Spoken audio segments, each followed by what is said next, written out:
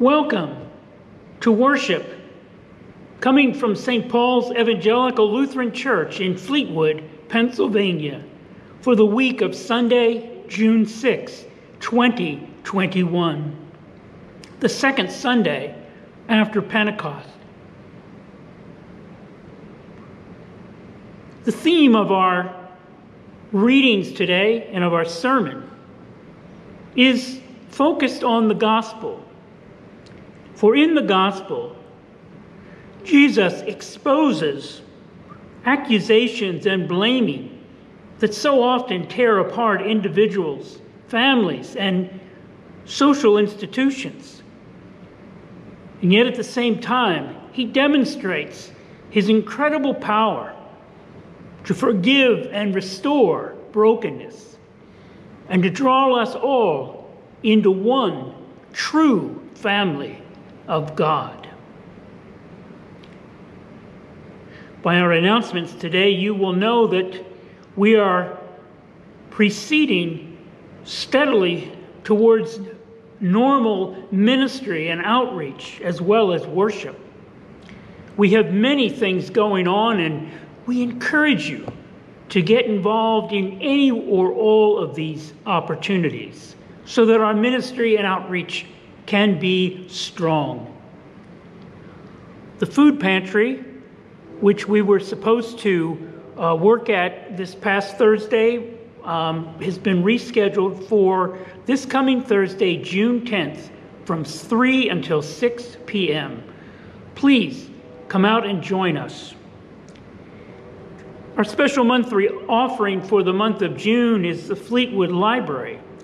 The library is expanding and as many of you know, libraries are a great community resource because they provide free and equal access to resources and to technology for lifelong learning. We are continuing to collect personal care items for Lutheran World Relief. We will collect these through June 20th you will see the box in the entryway marked LWR where you can drop off your newly purchased items. There is a flyer included with today's posted bulletin with all the information you need. Also, we ask your prayers for our students who will be coming together on June 13th to receive First Communion instruction. These children will receive their First Communion on Sunday, June 27th at the 9:30 service. On June 27th, the 8 a.m. service will be moved into the sanctuary. However, we will continue to broadcast to the parking lot for those who are still concerned about coming inside. Also, on June 27th, we will resume hosting communion at the rail using the elements of the wafer and wine.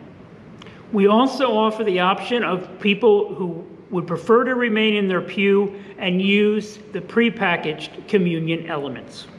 So please, we hope you will join us indoors, but nevertheless, join us either on the parking lot or through our YouTube or live streaming opportunities.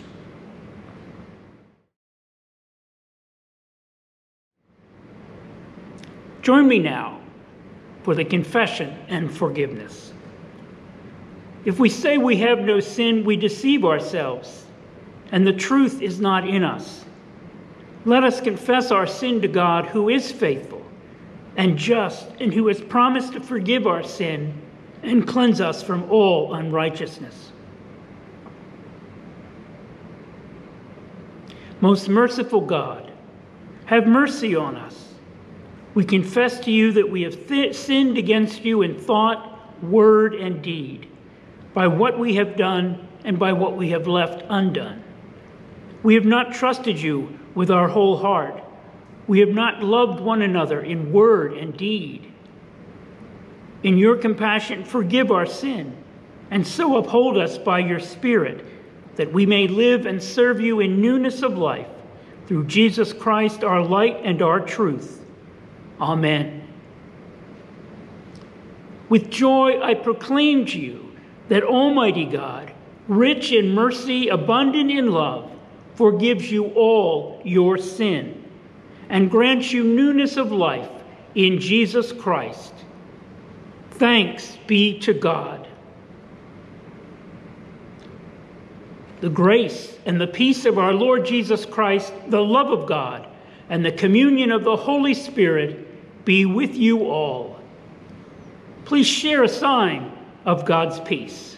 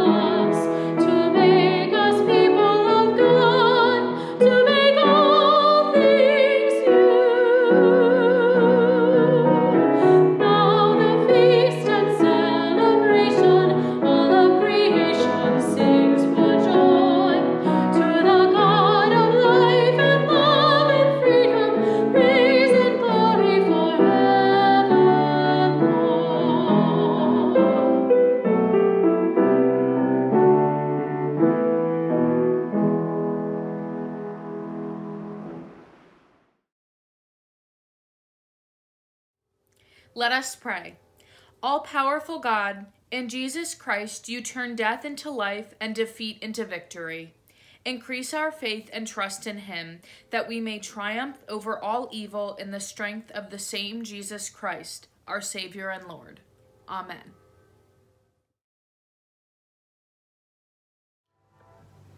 The first reading is from the third chapter of Genesis, verses 8 to 15. Adam and Eve heard the sound of the Lord God walking in the garden at the time of the evening breeze. And the man and his wife hid themselves from the presence of the Lord God among the trees of the garden. But the Lord God called to the man and said to him, Where are you? He said, I heard the sound of you in the garden, and I was afraid because I was naked, and I hid myself. He said, Who told you that you were naked? Have you eaten from the tree of which I commanded you not to eat? The man said, The woman whom you gained the woman whom you gave to be with me, she gave me fruit from the tree, and I ate. Then the Lord God said to the woman, What is this that you have done? The woman said, The serpent tricked me, and I ate. The Lord God said to the serpent, Because you have done this, cursed are you among all the animals and among all wild creatures. Upon your belly you shall go, and dust you shall eat all the days of your life. I will put enmity between you and the woman, and between your offspring and hers. He will strike your head, and you will strike his heel. Word of God, word of life.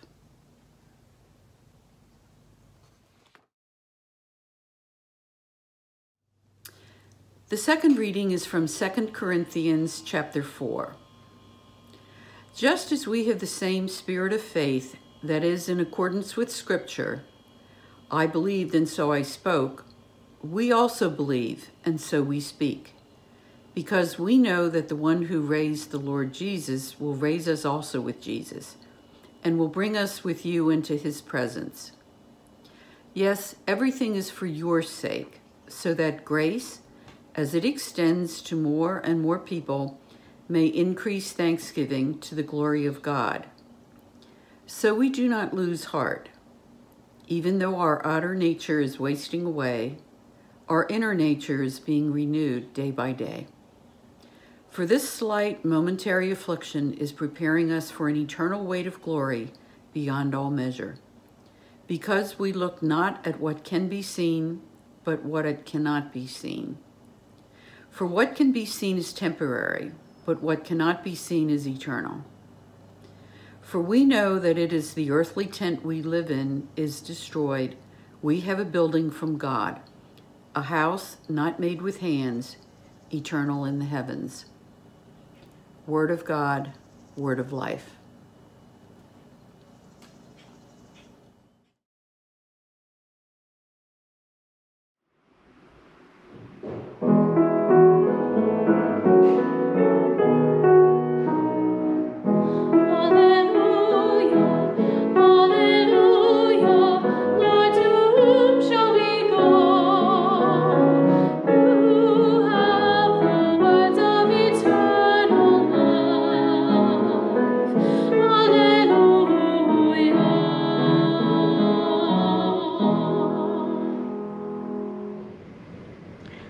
Gospel according to Mark, the third chapter. Jesus went home, and the crowd came together again so that they could not even eat. When his family heard it, they went to restrain him, for people were saying, He is out of his mind. And the scribes who came down from Jerusalem said, He has Beelzebul for he is, by the ruler of demons, he is casting out demons. And Jesus called them to him and spoke to them in parables. How can Satan cast out Satan? If a kingdom is divided against itself, that kingdom cannot stand. And if a house is divided against itself, that house cannot stand. And if Satan has risen up against himself, he cannot stand, but his end has come. But no one can enter the house of a strong man and plunder his property without first tying up the strong man. Then indeed they can plunder the house. Truly I tell you, people will be forgiven their sins and whatever blasphemies they utter. But whoever blasphemes against the Holy Spirit will never be forgiven, but is guilty of an eternal sin. For the people and the scribes had said that he had an unclean spirit. Then his mother and brothers came, and standing outside, they sent to him and called him. A crowd was sitting around him, and they said to him, Your mother and brothers and sisters are outside calling for you. And he replied, Who are my mother and my brothers? Then, looking around at those who were with him, he said, here are my mother and my brothers. Whoever does the will of God is my brother and sister and mother. The Gospel of the Lord.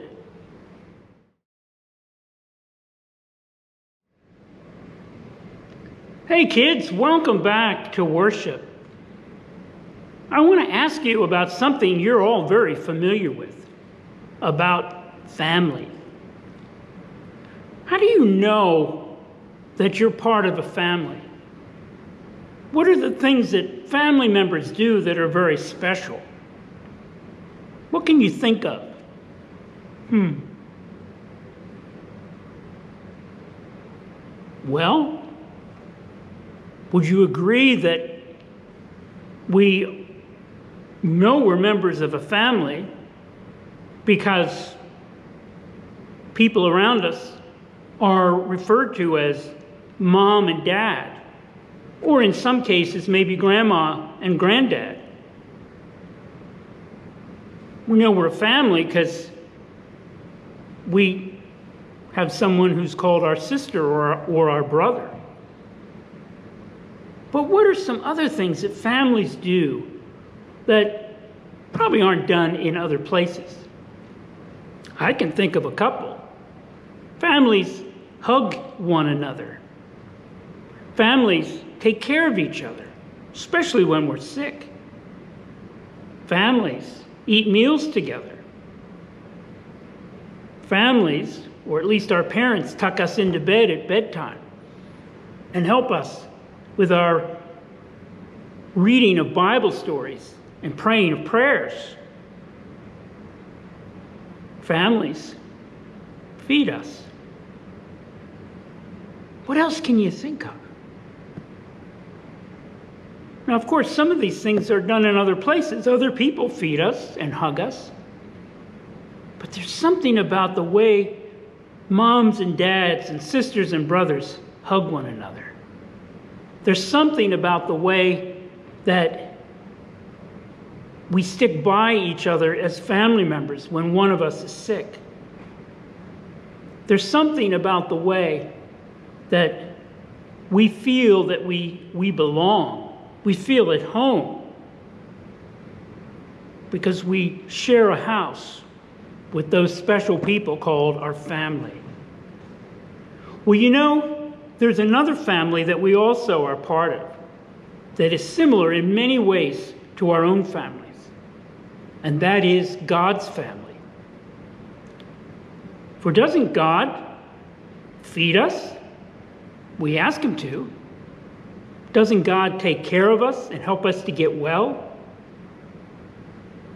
And maybe in some ways, when a mom or dad or sister or brother hugs you, it almost feels like God's arms are wrapped around you, helping you to feel safe, to feel at peace, to feel calm. And the thing about God's family is that anybody can be part of it. You are a part of it. I am a part of it. And so is your parents and your brothers and sisters. You can invite friends to be a part of it. You can even invite your enemies to be part of God's family. Jesus in today's gospel says, Anybody who does what God asks us to do is Jesus' family. So, family, children, I'm glad to be your brother, your brother in Christ. And I'm glad to have you as my sisters and my brothers. Amen.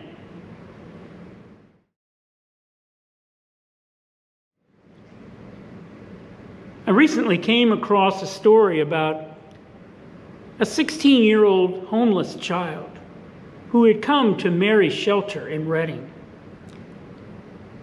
She thanked the staff at the shelter for helping her to feel normal. Now, what this child meant by feeling normal was having a family. Having been alone, maybe gone from foster home to foster home, being at Mary's shelter and being so well cared for and given attention to meet her needs made her feel what she called normal. Having a family, having people who hugged her, who tended to her needs, who stuck by her. In our readings today, especially from Genesis and Mark, the things that divide families and divide communities and even our social institutions like churches, the things that divide them are exposed. Consider the Genesis story about Adam and Eve and how when they after they had taken the fruit from the forbidden tree God approaches them and says I told you not to do it. Why did you do it? And then all of a sudden, the blame is going every which way up and down, and this way and that way. Adam blames Eve. The woman gave the, the fruit to me. Eve blamed the serpent. Well, he, he told me it was okay.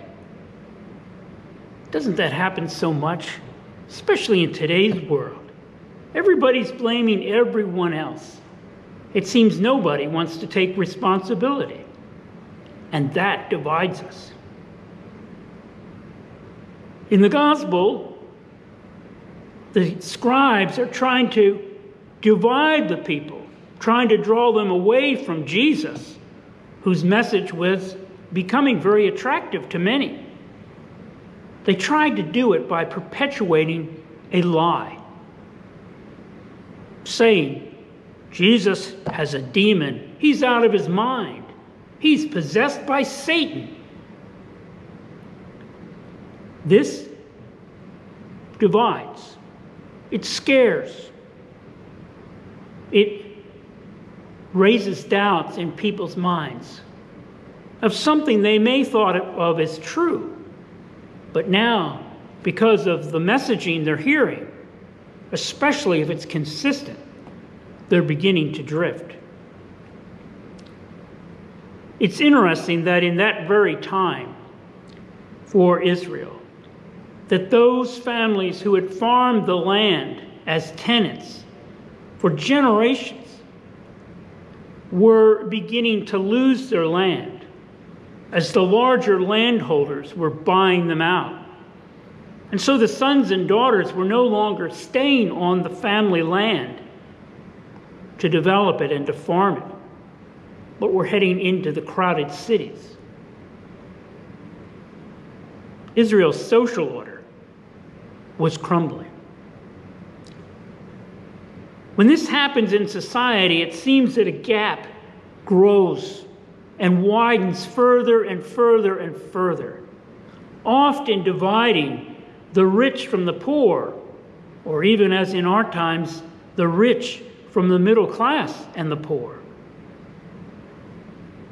But the other thing this story demonstrates is Jesus' power to plunder such divisions, to plunder the blaming, the accusations the false truths, and to restore the gap, to heal it, to bring it back together.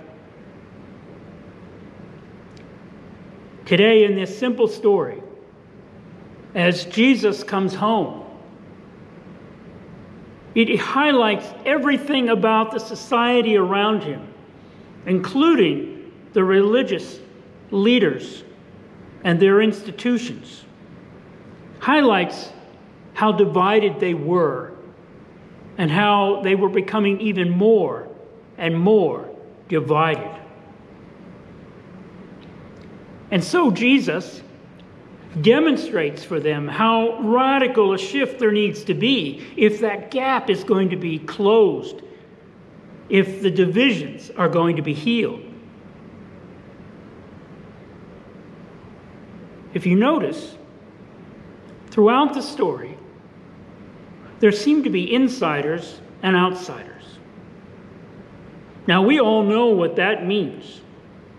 We may have an in group, and if we're not thoughtful, we may go places where others who know us feel that they're on the outside and we're kind of with our inside group. In one congregation I served, there was one family, one big family, that it, during fellowship hours used to block the way for other people to get to the food tables and to have space to talk with one another. They would gather in a large circle sons and daughters, grandparents, children, aunts and uncles. And they never quite understood when I would tell them, You're making everyone else feel like an outsider, like they're not part of your in group. Now, in a sense, even Jesus does that today because he's sitting inside with the group of people who had been allowed to get in sitting around him. And the interesting thing is, the outsiders are his family, his brothers and sisters, and his mother, Mary. The scribes, too, are on the outside, but that probably doesn't surprise us. But what Jesus exposes is that this inner group is not a closed group. That the God whom he has come to be in the world by taking on human flesh and suffering is a God who includes everyone. That is, as Jesus says, everyone who chooses to do God's will. In our day, we have seen so much unrest and division. It was there all along, but the COVID pandemic really stressed our societies to the limit. And so these things were irritated, were instigated, were exacerbated and they broke out into protests and counter protests and violence. Black people who felt that they were being cut short during the pandemic, that their needs were not being heard, protested and loudly proclaimed that their lives matter too, as much as white lives or brown lives, Chinese lives or African lives, American lives. Asians were attacked and are being attacked because they're associated with China. As people blame China for the virus. Women who have felt disempowered, who have suffered smaller incomes, bias because they may go on leave for childcare or to deliver a child, have risen up also. And overall, the rich, the middle class, and the poor have separated into a gap that has become almost unbelievable. Jesus exposes the gap. He exposes the dynamics of what causes the gap. And he promises, with the power of forgiveness, the power of God's grace, that by exposing these things, we can heal these things. We can address these things. We can have hope even when we misunderstand one another, when solutions seem doomed. We can continue to persist because through Christ the gap can be closed. The divisions and the blaming can be cast away, we can be healed, we can be family.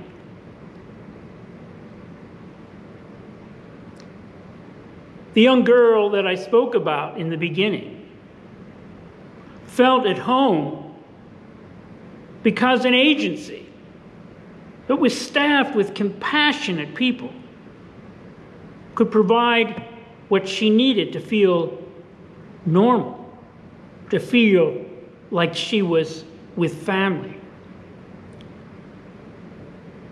Just last week, as I stood in the cemetery over in Dryville, burying Matt Yurkowicz, I was astounded and deeply encouraged by the family that I saw gathered out there. This wasn't only Matt's family, his blood family.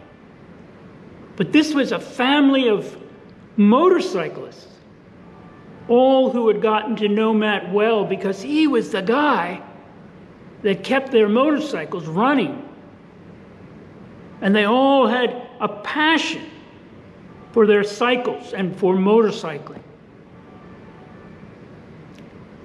This family was so big they formed this immense circle around the gravesite, so much so that to do the interment, I had to shout so that everybody could hear me.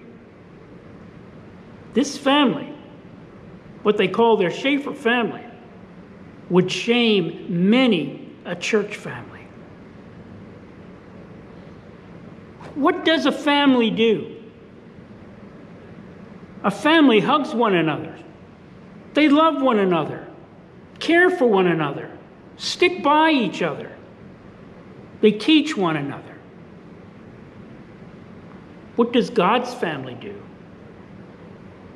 Well, we include everyone and teach them the ways of Christ so that together with us they can follow Jesus as we do God's work together. In a church family, there should be no insiders or outsiders, for we are all God's family. And we here are beginning to do more and more as we come out of this pandemic, as the clouds disperse, and as we come out of our hiding places and our homes. We need volunteers at the food bank this very week.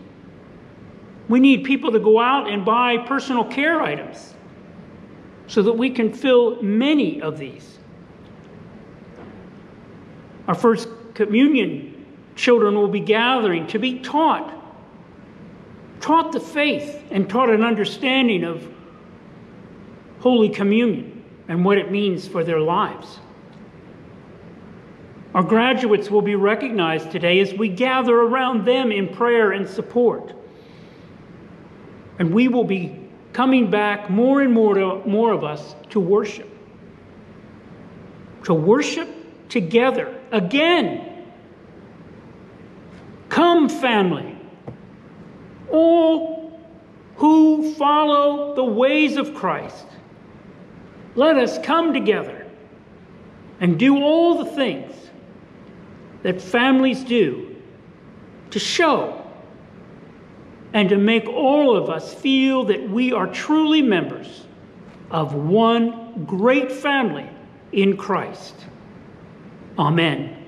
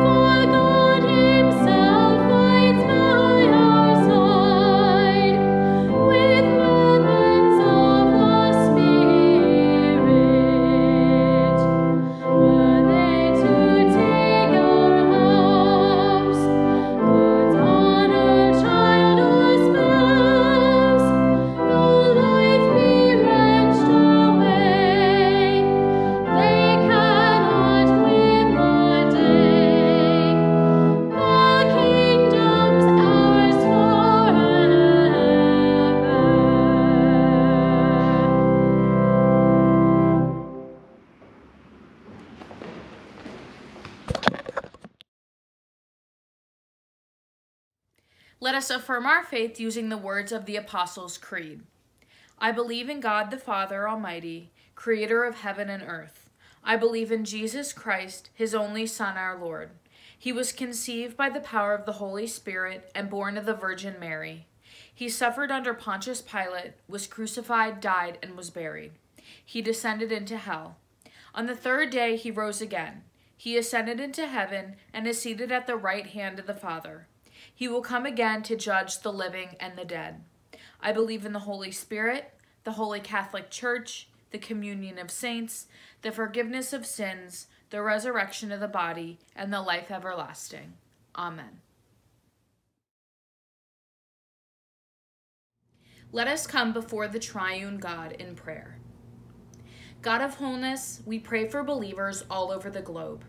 Unify us in service of the gospel, that we may work together as beloved siblings to share your love with all. Lord, in your mercy, hear our prayer. God of the cosmos, we pray for creation, the gardens, waterways, and creatures near to us, and diverse forms of life that remain unseen.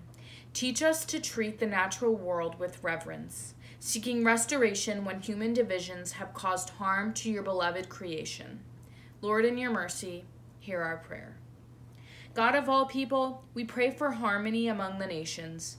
Cast out from us unclean spirits of greed and fear, that we may work in solidarity with one another for the common good. Lord, in your mercy, hear our prayer. God of abundance, we pray for those who are oppressed or in any need. Encourage those who have begun to lose heart. Strengthen and renew us with your spirit. Lord, in your mercy, hear our prayer. God of righteousness, we pray for this holy house of worship. Set our gaze upon things eternal, that is that in thanksgiving for your mercy we may extend grace to more and more people. Lord, in your mercy, hear our prayer. God of the ages, in your goodness you have sent us faithful witnesses for every time and place. We give you thanks for those saints who now rest in your eternal mercy. Lord, in your mercy, hear our prayer. We lift our prayers to you, O God, trusting in your abiding grace. Amen.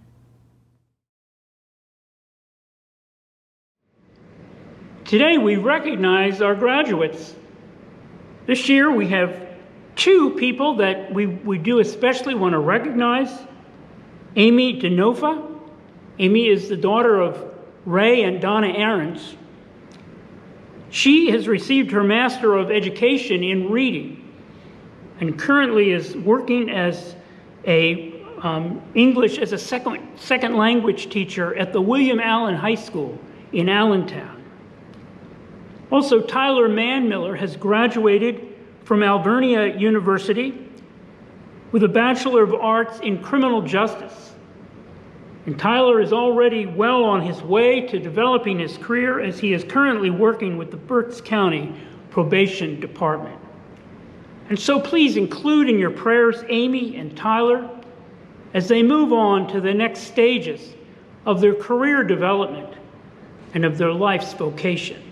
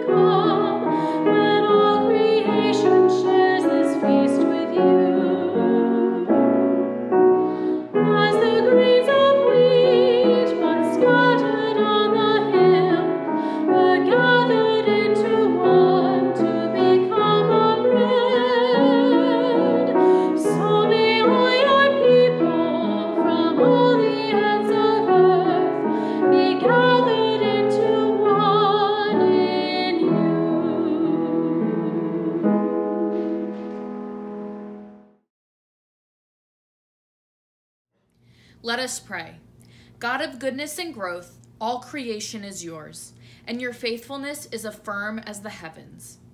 Water and word, wine and bread, these are signs of your abundant grace.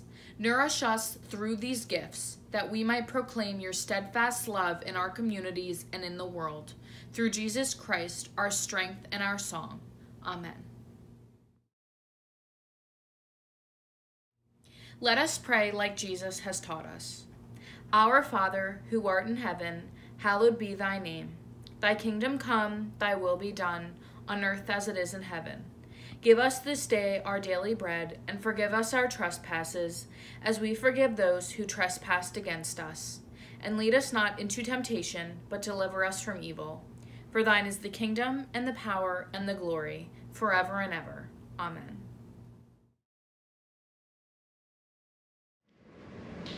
May God, who has brought us from death to life, fill you with great joy.